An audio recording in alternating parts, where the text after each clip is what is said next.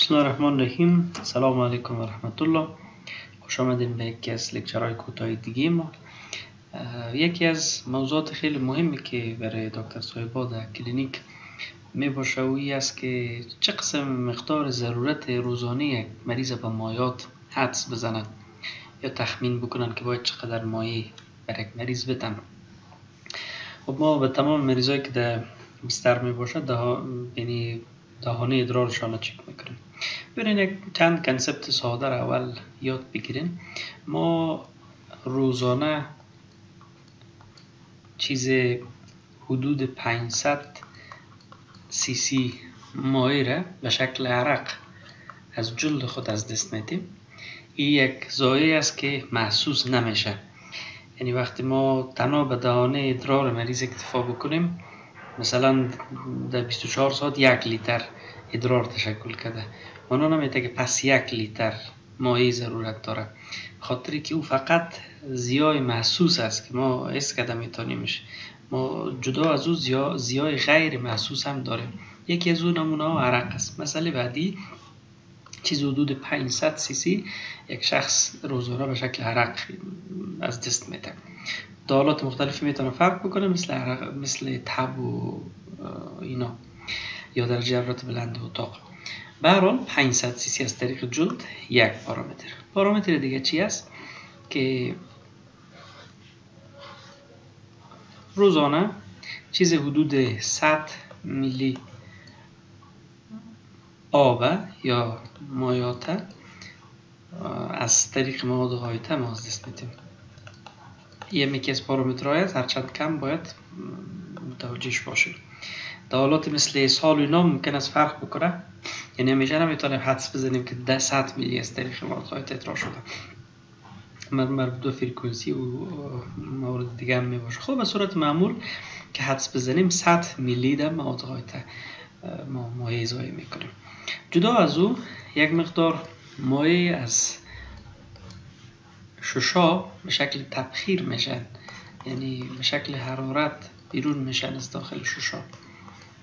و مقدارش چیز حدود 400 سی سی است به شکل. به خاطر وقت نفس می‌کشیم گرم است به خاطر از اینکه آب یا تبخیر آب تبخیر شده است. که به بخار تبدیل میشه در حقیقت میشه. یعنی یکی از اشکال سیاه مایی از بدن مایی است که همه روزه یعنی در 24 ساعت ما 400 میلی آب چی می داشته باشیم زیاد. پس کل گمی ارقام که جمع بکنیم 500 میلی از طریق عرق زایه می داشته باشیم 400 میلی از طریق ریه و 100 میلی هم از طریق مواد خواهده جمع نمیشه از 1000 میلی.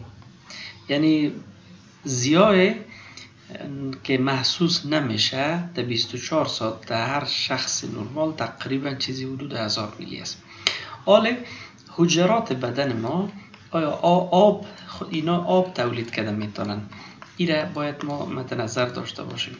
همیشه پروسه های میتابولیک میتابولیکی که داخل حجرات بدن ما صورت می‌گیره و همیشه از مواد غذایی مواد غذایی را که مصرف می‌کنند در موجودیت اکسیژن اینا رو به احتراق میرسانند و همیشه از این محصولی که تولید میشه کربن دی اکساید آب و انرژی است. یعنی دوامدار در بدن ما از اثر پروسه های متابولیک یک مقدار آب تولید میشه.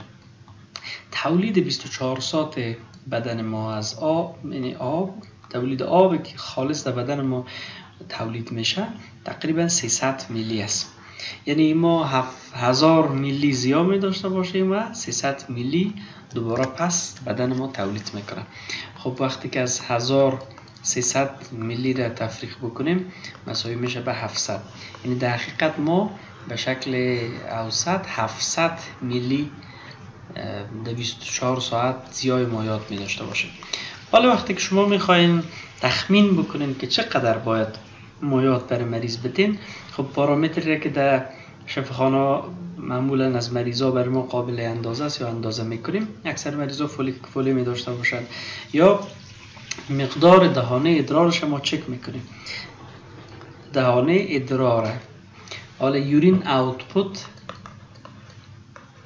این به شکل محسوس است. یورین اوتپوت هر چی که باشه جمع امی 700 سی سی ای دقیقت ضرورت 24 ساعت یک مریض به مایات است که این باید متوجه باشیم یعنی اگر یک نفر یک اشاره پنج لیتر در 24 ساعت مایع ادرار تولید می‌کنه یک اشاره پنج لیتر جمع 700 می‌کنیم و این میشه تقریبا دو 1200 میلی یا 2.2 لیتر در 24 ساعت باید به این اندازه مایع بگیری که به چه شکل می‌گیره؟ باز شما می‌تونید برش تخمین چی بکنید تنظیم بکنیم یک تعداد حالات باید مد نظر داشته باشیم. مثلا یک نفری که تب داشته باشه یا یک کسی که عرق شدید داشته باشه باز می‌تونه ما پیشتر مثلا از طریق جلد می‌گفتیم 500 میلی معمولا زیامی داشته باشیم. اما در حالات عرق شدید و تب شخص می‌تونه که چیز حدود یک تا یک نیم لیتر هم ضایع بکنه. به خاطر دینی حالات باید یک مقدار بیشتر برای به معدد قبلی ما اضافه بکنیم. یعنی حدس بزنیم خب تب داره تب بلند است عرق شدید. شاید به جای 500 یک یک لیتر ضایع کرده باشه. باز شما هم یک لیتر در مسئله عرق حساب می‌کنید. یا بعضی وقتا شخص استفراغ می داشته باشه. باید تو مقدار رو که به شکل استفراغ ضایع شده شما او رو در نظر داشته باشن به خاطر افرازات است که داخل معده بوده یا داخل روده بوده.